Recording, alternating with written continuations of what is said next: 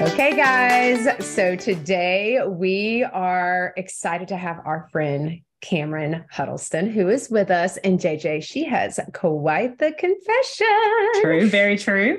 She will be sharing the good, the bad, and the ugly with respect to caregiving. I think we all can relate. But like all of us, you know, honestly, Cameron has been a caregiver, but she's so much more than that. She's pretty flipping amazing. And so, Jay, I want you to share with our friends, our listeners, um, a little bit about Cameron. You know, Natalie, I feel like we always start with like we love our guest, and we I, do I really love our guests. You know, here's the deal, but I worry about that day when we say I really don't like that guest. You know, so we got to be. oh my God, she sucks. This is terrible. we're So- terrible. We're sad you're here. I know. So shh, don't tell Cameron that. So no, Cameron, we're We so glad you're Cameron. here. so we uh, are so glad that Cameron is here. Seriously, true. Uh, Cameron, we met at the Care Colloquium back in November, and um, she, Cameron, you are truly a like-minded sister, is what we're going to call you, uh, because we did not realize that we are almost the same in age. We're very young, and that we went You to are school very young. not like 45 minutes away from each other, which Oh, was that's like, right. yeah, total like surprise. Wait, I'm So, touching uh, my pearls because I I- think she went to W&L. She did. She did. Yes, that's So Washington really, Lee for all you people who don't know what W&L is. so right up the street, Cameron is uh, she's an author, she's a speaker, and she's also an award-winning journalist with 20 years of experience writing about personal finance. So I know we're Mm. all going to be able to learn a little bit about that. Hello. Um, 401k. She wrote a book based on her experience uh, with her caregiving uh, with her mom. Um, her book is called Mom and Dad, We Need to Talk. And uh, it's about how to have essential conversations with your parents about their finances because uh, finances in our family were taboo. Cameron, we are, I'm glad that you're here today because we asked for, uh, we asked people what they want to talk about on the show. And what we've gotten a lot is people that are what's known as a sandwich generation. So your mom was 65 and she was diagnosed with Alzheimer's, and you were how old? 35. Woo. And you had how many Two kids? kids at the time. At Uh-huh. the time, I added another one because, Yeah. you know, I didn't need any extra stress in my life, right? Let's just Totally add another. What's another in a group of several? so, so and I how had- old were how old were your girls? Two and four when my mother was diagnosed. Wow. In Wow. fact, one of the one of the things I remember well is that we celebrated my second daughter's second birthday yeah. at my house and my mom was there she celebrated with us and then we went on a trip actually we went to michigan um, because one of their one of my girls babysitters was getting married and they were flower girls in the wedding Yeah. and we came back so this was i don't know several weeks after my daughter's birthday we come back and there's a sign on our door on our front door that my mom had left that said happy birthday zoe and I was like, oh my gosh, my mother must have forgotten that we had celebrated my daughter's birthday. Oh.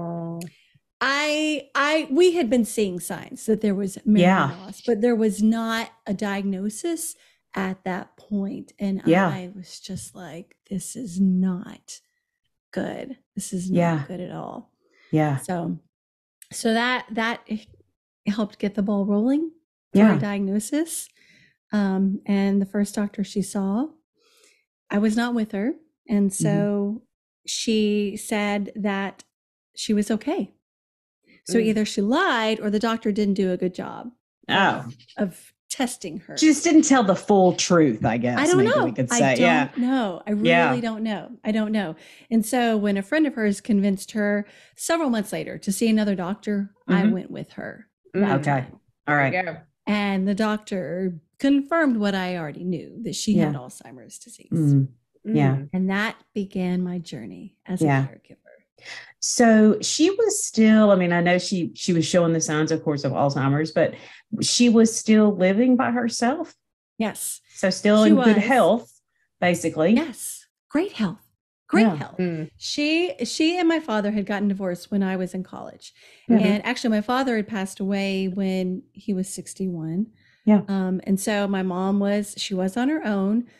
She was in great health. Like what she had, um, she picked up swimming. Like she was active when she was younger, but not as active when she was raising me and my sister. But she had been swimming for a few years. I mean, she was slim and she looked great. She Mm. was a smoker when I was growing up, and she had quit Yeah. smoking when I was 18. So, health wise, she was doing pretty well. And I Wow. really never expected to have to care for my mom because she was doing so well and she was Yeah. functioning independently great. Yeah. Wow. So that feels good. So as we're aging, you can age well. I mean, Sure. if you think about it, you can clean up your health. I mean, the fact that your mom was swimming and things like that, I'm like, dude, I should start swimming. So, Yeah. so, Mhm. so then she gets diagnosed. Go, keep going, Jay. So go well, and my she gets diagnosed, but you said she so she's living by herself. The only thing that we've got then is just some cognitive decline. So she stays in her house, Cameron. I mean, she's Mhm. not. You're not. You've not moved her in, and you're still able to kind of. You're you're working, right? You have two littles. You're working, I'm working. and you're And so married. You're I'm married. And Yeah. so, what I knew as a personal finance journalist, Yeah. my first thought goes to the financial side of things. In fact, Absolutely. several years, several years before she had this diagnosis, I had a conversation with her about looking into long-term care insurance. So she took Wow. my advice and she did. But she couldn't get coverage because of this other pre-existing condition that she had that Yeah. made her too high risk. Okay. Um, she actually she had had this benign tumor behind her left ear. It's called an acoustic neuroma and it had caused hearing loss. And so that was why in the early stages of her memory loss it was easy for me to write off that memory loss as hearing loss. Oh she Ah. asked me a question again. Maybe she didn't hear my answer. You know she's repeating herself when Yeah. you know because of the hearing loss. So it Yeah. was easy to make excuses for her until there were things like you know hanging up the sign saying happy birthday for my daughter showing me this bench that she had bought on her porch going back inside and then a few minutes later mm-hmm. asking me if she wanted if i wanted to see it forgetting Yeah. that we had just looked at it you know and so that was when it was obvious and so she gets this diagnosis and i'm thinking okay we've got to get her in to meet with an attorney to update all of her legal documents because Yeah. i knew that i was going to have to step in and manage her finances for her Okay. I was going to have to help manage her medical care. And so that meant she needed to name me her power of attorney. I needed to be named her healthcare proxy. The will needed to be updated. And so we did that. We met with an attorney. She was still competent enough to sign those documents. She knew what she was doing. Um, I was named her financial power of attorney, her healthcare power of attorney. Uh, my sister was too, but you know, fortunately, the the attorney had and my mom, I guess, had the foresight to grant us the power to act independently of each other, which is Right. really important. Is that important. sounds Very that's important. something so that sounds like a tidbit you can It's both you so jj and i technically could be as uh uh be able to give permission without one another i like the uh, the independent of one another because Yes, i'm sure that you probably seen or heard of siblings not getting along and and then you get in this stalemate if all parties have to agree right. sure. okay so that's I think something a lot to of think about It is. A lot of attorneys would actually say, really, you shouldn't name more than one person. Like you have your primary and then there's a backup. But if you're going to name more than one person, which a lot of parents want to do that, they don't want to show favoritism. Mm, and you're not. yeah. It's not, wow, pick me, Yeah. pick me to be your power of attorney. I really Yeah. want to do that. Um, i'm pointing at jj Now don't everybody else insulted. Don't everybody else declined that job, Insulted. Cameron. Uh, Nobody all- else wanted we the put job. our finger to our nose and said, "Oh, not it." JJ was slow to do it. So, Cameron, I'm going to ask you a question though, Cameron, because you've done, you know, you've got this situation and it's a personal situation for you, but you've been in finance, you've done all this writing for so many Right. years. In for us and for so many members of our family, talking about finances, especially as family members have grown older, it is you do not talk about it. It's like you're nosy. You're you're kind of oh, I'm just waiting. You know, you're you're implying that you're What's waiting for the them to die. Um, how, I mean, how did you do that? Was this an uncomfortable topic for you and your mom, or was it something that your family's comfortable with? I I mean, how do you how do you get to that point? I- being raised in the South, I was Mhm. taught that you don't talk about money. That Oh, is my true. preach that. father My father instilled that in me. You Yeah. don't talk about money. It's Mhm. impolite. Don't ask people about how much they make. Don't ask them how much they spent on things. So my dad was hush hush about money. Okay. My mother didn't, she didn't seem to be so tight lipped about Mhm. money. Mhm. Um, and a lot of the lessons I learned about money, about managing money, came really from watching her. She was a stay at home mom. And so I would watch her, you know, do the grocery shopping with the money that she had, you know, and, and being frugal. And she was always very good at managing Mhm. her money. Like she could and I'm so grateful for that because she did inherit money from her parents and she could have blown it, but she didn't. And that money Mm-mm. is what helped pay for her care because, like I said, she couldn't get long term care insurance. Right. I wasn't afraid to talk to her. Yeah. I never had those conversations with my dad. And as I mentioned, he died at 61. And my dad, even though he was an attorney, died without a will in a Mm. second marriage. Wow. Mm. Wow. Yes. So that's what, you know, I wrote the book because I realized we don't want to have those conversations. We don't, don't. think to have them until it's too late. And it is so important. And you want to have these conversations before there's that health emergency or a financial emergency because if Yeah. you wait for the emergency, emotions are running high. True. Absolutely. You're not 100%. thinking rationally, you're pointing fingers. And really, that's the last thing someone wants to talk about at the time of an emergency. So you're going to start easing your way into these conversations while your parents are relatively young and healthy. And it's Yeah. not, do you have a will and what am I getting? Because then, of course, you're going to look nosy.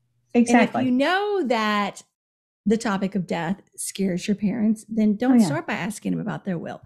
What does retirement look like for you? Or how is retirement going for you if they're already retired? Uh, you know, what are you planning on doing in retirement? Keep it really general. Yeah. Mhm. Or maybe you're talking to them about something like scams because we can all be targeted by scammers. Hey, have you heard about this scam? There's this new scam going around where people are calling up and claiming to be with the Social Security Administration Mhm. and they're claiming that you've got to apply for your cost of living adjustment and they're really just trying to get your personal information um, and this is an actual scam that's happening right now Yeah. So- wow.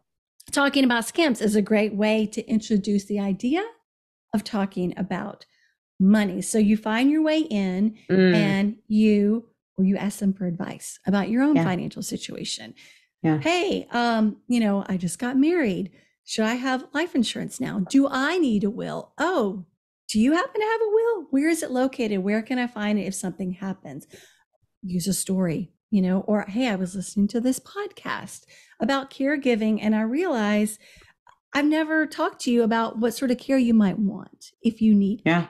And I want to know because I want to know what your wishes are. And it's all about making your parents know that you want to know what their wishes are, that you're looking out for their well being. You don't want to come off looking greedy. You certainly don't want to come off looking condescending by saying, you know, hey, I don't think you've done a good job of saving for retirement, and I'm afraid I'm Oh, going to yeah. to take care of you, or I don't want to have to take care of you when you get older. That's Yeah. I think it's mostly I don't want to have to take care of you when you get Yeah. older. That's the way it's going to right, come and you might not. Yeah, and you I might not. And you're like, so you're saying, right, right. So Well- you're saying to them instead, if you need care, what sort of care do you want? If you want to stay in your house, is your house set up for you to age in place?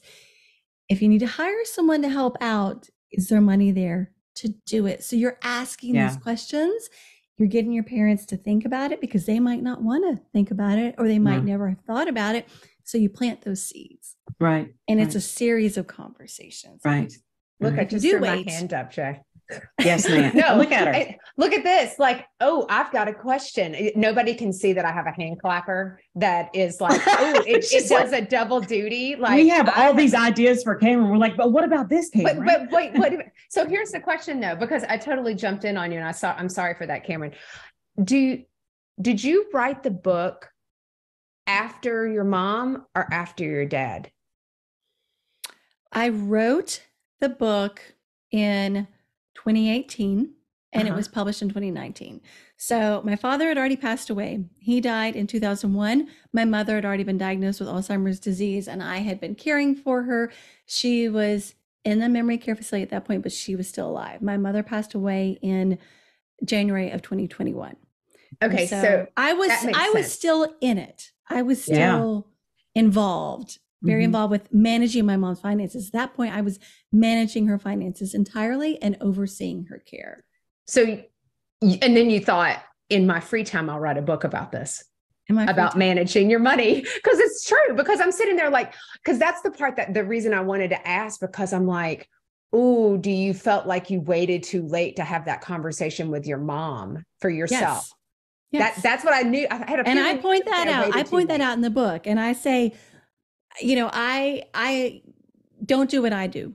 Okay, yeah. do what I say, not what I do. And I made the mistake of waiting. I did, and I, I Yeah. admit that I made Yeah. the mistake. And as a result of making that mistake, like I said, I had to scramble to meet with that attorney with my mom to get those legal documents in place so that I would have the legal right to manage her finances for her Mm. once she wasn't able to. I had to play detective to get details about her finances as she was forgetting those details. She had an account that slipped under my radar because I had not sat down with her and gone through to discuss every account she had and get, you know, do that forensic accounting. Um, Yeah. so there was this account that I didn't even know existed until she was in a memory care facility and there were letters being sent about inactivity in this account and it was going to be turned over to the state as an unclaimed asset. And I was like, oh, wait, wait, wait, wait. What is this account? $50,000 in the account. It was almost turned Oh. over to the state as an unclaimed asset Wow. because I didn't even know it existed. no that's a hard no to the state we already paid taxes on that too so i'm like we're not giving more to the state uh sorry kentucky it's not happening So, so, so if I had had these conversations while she, before there was any sort of memory loss, if we had gone over yeah all of her assets, you know, Yeah. had that conversation. Like the perfect time would have been after she couldn't get long term care insurance. Okay, mom, Right. let's sit down and talk about what would happen if you needed care. How would you, how are we going to go about paying for that care? What sort of care do you want? And we could have made that list of all our assets and Yeah. figured it out. Um, instead, you know, I almost lost $50,000 of her money. Yeah. Yeah. Well, and So, yeah. and that's and that goes fast. I I mean, I think about you know, um, a mom is in um, a day program, which we love, but that's and that's an inexpensive one. I mean, thirty dollars a day, and if we we want mom to be able to go every day, but some of them are a lot more, way more expensive than that. And then when you add on uh, individuals who come and do respite, people who want to come in and provide support, that that money goes pretty fast. And i know cameron we had talked in another conversation about how you really work to manage that. And so my question i think some of our listeners might be like well I mean, I don't, I mean, I use my checkbook and I balance it. I'm not, what if I'm not a professional? I feel intimidated by the numbers. How am I going to, to kind of spend the money as wisely as I can? Do I have to be a professional? Should I hire somebody or can I really do this on my own? It is a challenge. Okay. Um, most of us do not have the financial know how, and that's by no fault of our own. We're not taught this in school. We're Mhm. not taught it in high school. We're not taught it in Yeah. college yet. We're expected to figure out on our own how to, you know, create a budget and stick to a budget and um, not rack up too much debt and then what to do once you have that debt and how to get a mortgage and how to pay your taxes. And so most of us are Yeah. barely even managing to stay on top of our own finances. If you've got to handle someone else's, especially someone who is older and might be Mm-hmm. getting government benefits that you have no experience with, Social Security, Right. Medicare, or if they're getting Medicaid, it's it's all so confusing. But that doesn't mean that you should throw up your hands and say, I can't do this. Okay. What you are going to have to do now is educate yourself. Mm. And there are lots of free resources out there. The Ooh. Consumer Financial Protection Board, CFPB, has guides on managing someone else's money. Mm. Talk to your parents' bank. Go to the bank and say, you know, hey, help me out here. You know, help me, you know, get a handle on what sort of accounts my mom has. You know, you show up with that power of attorney document and let the bank Mhm. know Yeah. I am my mom's power of attorney. She i- has this health issue or she has cognitive decline. I need to get involved. Um, there are financial advisors, certainly you can hire, and you can maybe Right. hire one who will work with you for just an hour or two. You can pay an hourly fee, um, you know, and they can help you sit down with you and your parent. Yeah. There are also financial advisors who will do pro bono work. You want to reach Mm. out to your state chapter of the Financial Planning Association and Mm. ask, hey, do you have any members who will do some pro bono work or bono. who might do, you know, provide some help for a reduced fee. Yeah. Mm. That's one option. Uh, you know, reaching out to your um, local area agency on aging Mm. Mhm. and getting them to point you to resources in your community. Like I mentioned, there's lots and stuff of lots of information available on the web. You know, just do a Google. How do I file a tax return for my parent? How do I, you know, what do I need to know about Medicare? Um, what do I need to know about power of attorney? What do I need, you know, should I have a joint bank account with my parent? You do a search and you're going to find some information. You just want to make sure that that information comes from a reputable Mm, source. Good oh, point. absolutely. Absolutely. Good point. Not the No. Natalie Bank and Trust. That's So- exactly right. That, Yeah, that's why I know- handle the finances, Yeah. Cameron. That's why I handle the finances. So, Cameron, you're like a wealth of financial knowledge. so, I mean, she's got like I- so much nuggets, I but I want know. to steer us back towards caregiving, Jay. I I- well, I know, and so she's got because I know that with all that knowledge, you were your mom went through. I know that you had her. she, she was able to stay at her home for a while. Yeah. And but eventually you guys went through a couple of different levels of care and ultimately she ended up in memory care. Um, but you're still you're doing all of this, which amazes me, and you're writing a book And Uh, raising during- some small people. small people, and then having another person. You're, you're adding a, A child whole to other that. Yeah, person at some point in, addition there, to doing those things. at some point in there, you added another child. But tell me about that. How that for your as you are taking care of your mom. Share just a little more about that journey for you. Yeah. Um, how that how that was for you, your work life, your personal life. Tell us a little more about you because we know you took care of the finances, sister. I mean, You're you had taking that everybody covered. and their brother. Check. Yeah. I did. Um, it was a lot. It was a whole lot. I so for the first two years after my mom was diagnosed, she Yeah. stayed in her house, Yeah. and uh, my husband pitched in. He was in charge of a lot of the maintenance work around the house, mowing her yard, fixing things. I Mhm. was there frequently, checking in on her. I took the car keys away, but when I did that, I hired a college student to drive her so that she wouldn't be trapped at home, someone to take her on errands. And then that lasted for a little while before I actually replaced her with a woman who was closer to her age, who had some experience working in adult daycare, because it felt more like hanging out with a friend. Okay. Mm. All right. And so, but then I realized it wasn't safe for my mom to stay at home after she got a scam call and was almost scammed. Um, And Oh. actually had called my uncle asking how to wire money. My uncle calls me and says, Oh my I think your mom's being scammed. So I rushed over to her house. Oh my and I gosh. sat with her, answering the phone, intercepting this call because she believed that she had won some sort of sweepstakes and she had to wire money to get the prize. And I was like, Oh. no, mom, no, mom, someone's trying to take advantage of you. So I sat there and I kept answering the phone and, and like hanging up and hanging up and don't call back and don't call back.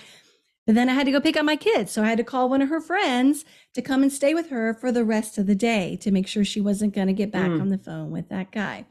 And that was a wake up call to me. She can't be at home alone anymore. And it was also, it was getting too much for her to take care of her house. She wasn't doing a good job of feeding herself anymore. Mhm. And so I was fortunate. We had this large older home that had apartments in it that we were renting out. Covers half of our mortgage, right? Being Perfect. financially savvy here. and so when someone had moved out, I was like, this is the perfect time to move my mom in. She still gets her own space. Right. And I sold it to her like, you know what, mom, this is a great way for you to hang out with your grandkids more. oh, that's Oh, savvy. I like it. That's good. not- that's, a, that's not- not even a lie. Right. Not mom, you can't take care of yourself anymore, but mom, I think this would be a great idea. Yeah. Smaller space to take care of. You're with me, you're with the grandkids. You can help me in my yard, but you'll still have your own space, your own little balcony where you can put plants out there. And it was hard though. It was really, it was really hard. Um, and unfortunately, she had some friends who weren't very helpful, who didn't like the idea that I was moving her and made it Yeah. difficult for me and made me feel very guilty about doing it. But I had to Mm. tell myself, this is best for my mom and I have to do what's best for her. And That's I was trying to stretch her financial resources that she had as far as possible, knowing that she was young. And this was a long journey that we were heading on, and this was only the beginning. And so yeah. so there I was like every morning I would get up and I would go upstairs and I would make sure she was eating breakfast and I would give her her medicine. And then I hired a caregiver um, through an agency to be with her on the weekdays while I was working. And then in the evening, she would either eat dinner with us or I would take dinner to her. I would make sure she was taking her medicine. On the weekends, I was with her a lot. And after about two years, um, it was apparent to me that I I couldn't keep doing that. At the end of the day, I was exhausted. I was stressed out, and that stress would often come out on my kids. Not that I wasn't yelling at my kids, but I wasn't being the best mom that I could mm-hmm. be to my kids. I, you know, I didn't have the patience for, and, and I couldn't be the best mom that they needed me to be. Right. And I couldn't be the best caregiver that my mom needed me to be. Uh, there were issues like I could hear her wandering around at night. And I was oh. afraid, what if she wanders off at night? Mm. What if mm. she falls at night? You can't lock her in the apartment. That's that's dangerous. She almost set her apartment on fire because she left a tea kettle on, left the forgot yeah. about it, left it, and it was at Christmas time. And she took my cousin and his wife up to see her apartment, and they discovered the tea kettle was on. And I was like, oh my gosh, our house almost that's the down. decision made right there, Cameron. For me, it's like, okay, we're going to have to change up this scenario. So, so, yeah. so I, there were just so many things telling yeah. me I, I couldn't handle it anymore. I couldn't handle yeah. it on my own. She needed round the clock care. Absolutely. And, I just wasn't capable of providing that on my own while yeah. working and taking care of young kids. Um, and so, yes, while she was living with me, though, I actually I did get pregnant with my third child, my son. yeah. Because my husband and I had wanted to have three kids. And yeah. after our second child and my mom was diagnosed with Alzheimer's, we were like, well, I guess we can't do this. But then she had had an issue where she was in the emergency room because her blood pressure spiked up really high. I was in that same hospital where I had my girls. And I was like, oh my gosh, we really wanted that third kid. And so wow. I'm sitting there looking at my mom in the hospital bed, but thinking, oh, we really I really want a baby.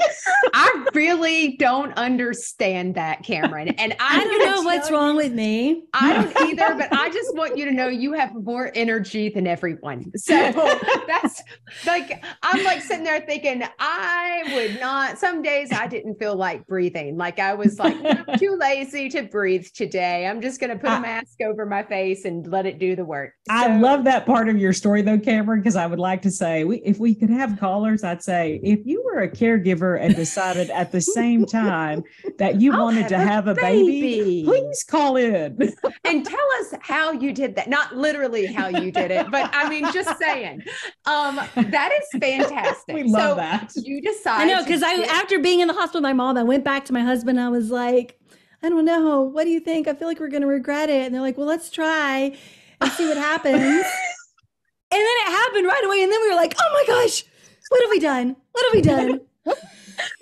you already had two, Cameron. You should have known. So I know I mean, it. Clearly, I know you were already fertile, and so you know.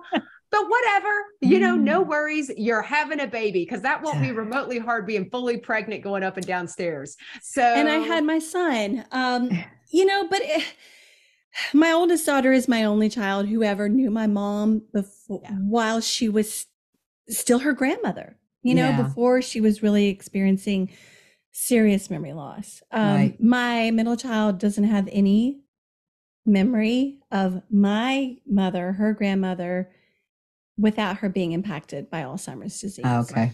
Um, yeah. And my son, you know, by the time he was born, um, and he's there's a five year difference between my middle child and my son, mm-hmm. and so um, by the time he was born, my my mother um, like sh- she was so confused by this mm. baby.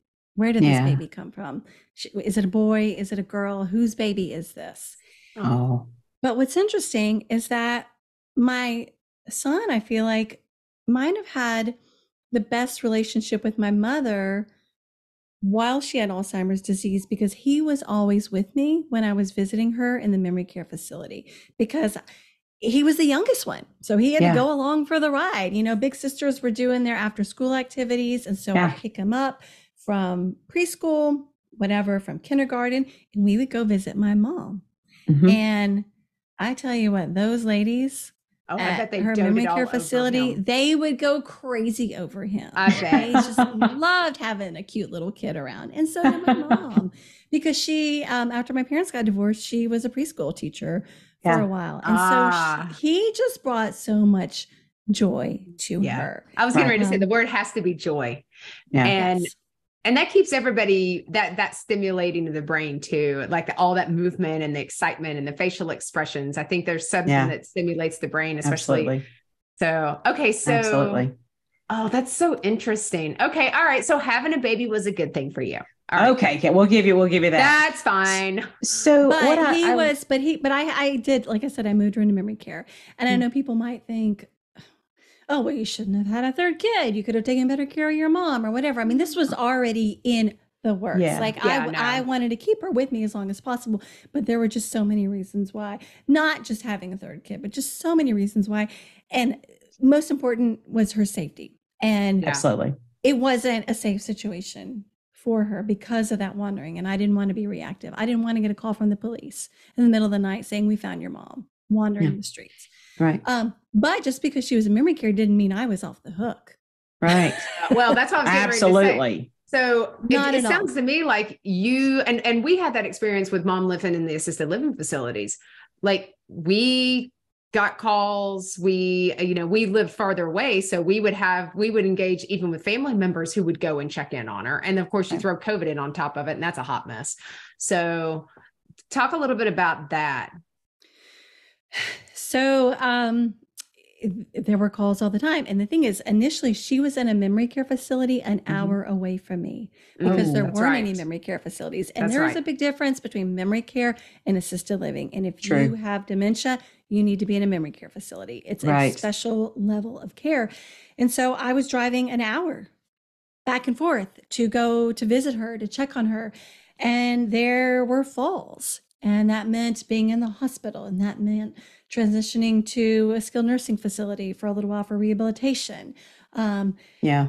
and it was you know it was it was still a lot and then when a facility did open up in my hometown and you know i gave it some time to see if it was going to be a good facility i moved her back of course i could visit with her a lot more often which was great um, but you know taking her to doctor's appointments Yeah. oh my gosh like it taking her out of the facility was an absolute nightmare like when i was first when she was first in a memory care facility and i would visit her i would often take her out to eat but it got to the point where i realized this is a mistake don't take her out of the environment where she feels secure taking to a restaurant is too overwhelming for her Yeah. so I stopped taking her out. But when I had to take her, that facility had a doctor who partnered with it and so would come and check on her. The facility in my hometown did not. So I had to take her to doctor's visits. Yeah. Absolute nightmare. Mm. Nightmare. Like Yeah. the first thing they would want to do is put that blood pressure cuff on her and take her blood pressure. Yeah. And she had no idea what was going on and she would get angry and Mm-hmm. sometimes she would be combative. She was so easygoing usually. Like I was so lucky. My mom, her personality did not change with Alzheimer's disease. And she Mm, was always very easy going. Yeah. Um, just just always so lovely. But if you did something that she didn't like, she would let you know. And even in the very late stages of Alzheimer's disease, when she could hardly communicate, again, if she was in a situation where she felt threatened, even if there was no real threat, but if she felt threatened, she would let you know in very certain terms get off me, leave me alone. She oh, spoke wow. very clearly. Yes. Wow. Usually she could not put together a sentence, but she could let you know to get away with her. And it would Yeah. usually be interlaced with expletives. And I'm like, what? That's not my Who is mom. that? Oh, yes. That's really in the back of the filing cabinets that Yeah. she's digging deep on that one. So, but you know, memories are, you know, we have those memories and we know what our our body tells us what's a threat, regardless if our memory remembers or not. The the body remembers. And I think it pulls from our catalog of memories that we have historically. So that's interesting. So it's interesting that you said um I had to stop taking her out to dinner kind of thing. Like I had to stop taking her out because that I wonder, and I don't know if that's true for you, but I wonder if that's more of this is what I would want if I was in that case. versus this is what's best for her? Because it sounds like you're saying, I had to accept that I couldn't do that. That's something I can't do with her, but I can do this. So I think it's almost like a, a shift in what you're thinking. I can't do this because it doesn't, mom doesn't respond well to that. And so I'm going to choose to do this and be happy equally about that. Like Sue Ryan talks about that, accepting the people where they're at. I think this is a big mistake that caregivers make is that they, they think that they should keep things the same mm. because they think that is what their loved one wants. Like taking them out to meals, taking them to their favorite place, having them in their home for holiday gatherings. Mm. But it's not always a good idea, especially if there is dementia. You know, yeah. putting them in a situation where there's lots of activity, lots of noise, it's overwhelming yeah. and they can just shut yeah. down. And so, yes, I had to accept that. This is not this is not benefiting my mom to take yeah. her to a restaurant. She's much better off staying in her facility. And I know some people will think, oh, that's just awful. You're not taking her out to do anything fun. No, it wasn't fun for her. It was stressful. Yeah. yeah. It was stressful for her, and I could see it. Yeah. And so that's why I stopped taking her out. She, I did not take her out for holiday gatherings because it, it was again too stressful for her. You know, and when she didn't recognize anyone, it would just be confusing to be in a room full of people you don't recognize. Yeah. And you know, the people at her facility, she knew them better because they were there yeah. day in and day out. Now, even though she didn't recognize me as her daughter, she still remembered that she had a daughter named Cameron. And she would talk about me. Sometimes she would talk about her daughter Cameron in my presence. Wow. Which was interesting. But yeah. but I know that even though she didn't recognize me, and I, I, I, I really know this that she still knew when I was there that I was someone who loved her and cared about her. And the reason I know this is she had this moment of lucidity. Oh, probably it was probably in the winter of 2019 before the pandemic started. And I was with her and we were walking around her facility. And she said to me, I'm tired, I'm exhausted. And I said, Well, let's get you to your room so you can lie down. And I help her get in bed. And then she looks at me and she says, Thank you for everything you do. I always see love in you. She had mm. not said anything that coherently to me in a long time. And I almost felt this, no, I didn't almost. I felt this sense of panic thinking, oh my gosh, is my mother going to die? Because you hear about people having these moments of lucidity. Yep as they are about to die. And so that rest the rest of the afternoon, I thought I was going to get a call from her facility. I did not. I did not. But it was it's something I carry with me still. Oh yeah. Knowing Absolutely. that she she could see that I was someone who loved her and cared about her, even though she didn't yeah. recognize me as her daughter. Mm. Mm. That's Man. Beautiful. I, you know what? I, I love this. Hey, ladies, I need to interrupt for just a second to share about the sisterhood membership. It's basically a sale every day. And the best part, it's free. Here's the details. We're partnering with our friends at Benefit Hub and other care partners to save you money. With over 200,000 participating companies across the US and abroad, you'll find discounts at your favorite local stores, huge savings on vacations, amazing deals on home, auto, and supplemental insurances, and everything in between. Go to confessionsofareluctantcaregiver.com to sign up and then definitely tell your friends about it. They can join too. Trust me, there's a discount for everyone. And don't forget, it's free. Okay, back to confessing. Yeah. Go ahead, Jay. Well, no, and I know that, you know, I know that you in all that you do, Cameron, I know, and at the last times, the, the time that we spoke before, that you made sure, and I want, we are definitely going to have you back. I think that's a key because I know, right? There's so many things that I want to make sure that we mm-hmm. share with our listeners like about more. the financial planning portion of it, because yeah. that is something, you know, Natalie and I have talked about it and we've shared with people. We were ill prepared with mom. We just basically were not prepared. There's with no mom, with Jason. No, I wasn't prepared. Jason no. and I weren't prepared, and we're younger. And yeah. so, whether it's with your mom or with your spouse right. or with anyone that you love, I think that you can't think about it as right. an aging issue. I think you think about it's it as care. a I plan for an, the unexpected. Right. and I'm going to plan as much as I can. Yeah. But with that said, I, you know, I look at a lot of the people that we've talked to and and just doing your absolute best and with your mom being able to say that, you know, I know that you're someone that loves me. Um, I think that's all any of us can ask for. I mean, that just, you know, that's like a um, gift because you can't take that away. Yeah. It was. So, Natalie, would you I like think to? It's, I think it's time, Jay. You have to ask first. Are you ready, Cameron, for a sister question? No, I'm yes. I'm asking second. I'm asking second because you know my favorite question, and oh, I that's it. like suck it. Sorry, Cameron. I always Jason I will sometimes say suck it, and so you're going first, Missy. Welcome everybody okay. to the All. Right. Okay, Cameron. So uh, this is uh, probably, I mean, it's probably an easy one. Well, maybe it's an easy one for you. I don't know. So, what do you think out of all those times when you were like, I am struggling here, those days, what's the one thing that got you through those times? Mm. Something that helped you just kind of pick you back up and say, I can make it?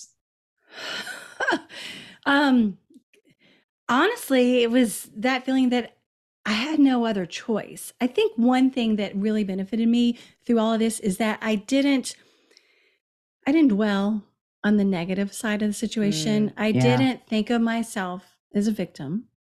Yeah. I didn't think, "Oh my gosh, you know, how could my mom do this to me?" It wasn't her fault.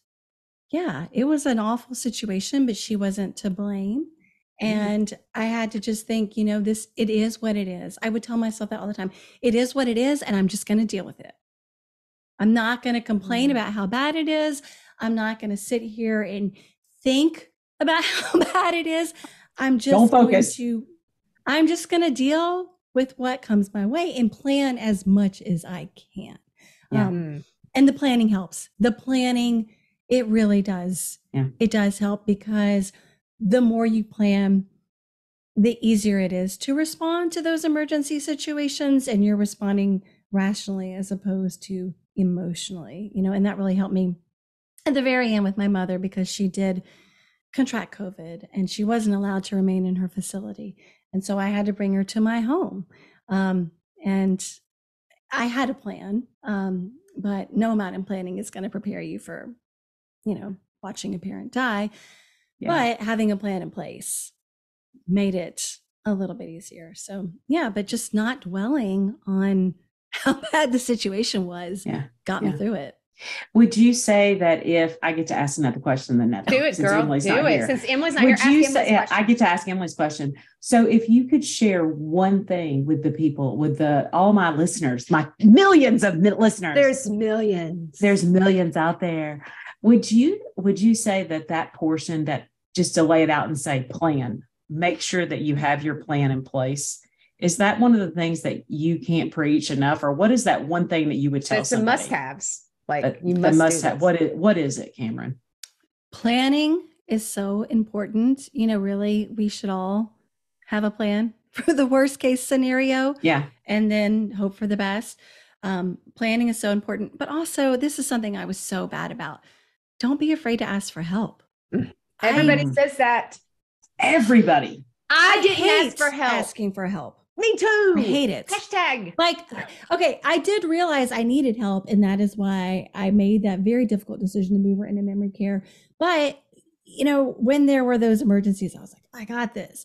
I can handle it. I don't need anyone to help me. Um, and so, and I didn't have people volunteering either to help. So yeah. it wasn't like, I mean, run into your door. down the door. No, no, no, no, no, no. My mom's friends weren't lining up to to help. Um, and she, you know, she, she, had a great friend group, but um, I guess they had their own thing to do. Yeah. But yeah, because people don't know that you need help unless yeah. you let them know because they're like, oh, look at her. She's on top of it. Look at that. She's juggling a job and kids and her mom. She's got it under control. Yeah. No. You're like, no. no. I'm going to tell you. I, all right, I, will totally turn. I, I'll turn her over to you now, Natalie. I got two questions. All right, Natalie, it's your turn. She's got it under control. I, am going to tell you, and honestly, Cameron, I'm the best faker ever. Like I'm sitting here just faking it until I make it. I just love that you said that because I can tell you, I look like I had it totally under control, and on the inside, I'm like, somebody's going to figure me out. Somebody's going to call my bluff and be like, what about this? And I'll be like, and I melted. so, okay. So here is the favorite sister question. We love all of our questions. This is the best. We want to know what is your favorite guilty pleasure? Oh, mm. gosh. Right? Okay. Everybody's is different. wine. It's wine. Ah! It's wine. What's your flavor? I'm a white wine drinker because okay. red wine is more likely to give me a headache. But, uh, but, but fair enough. I am like, I'm like, you know what? I am, I'm, I'm trying to like, you know, kick the, to, to not drink. Only on special occasions.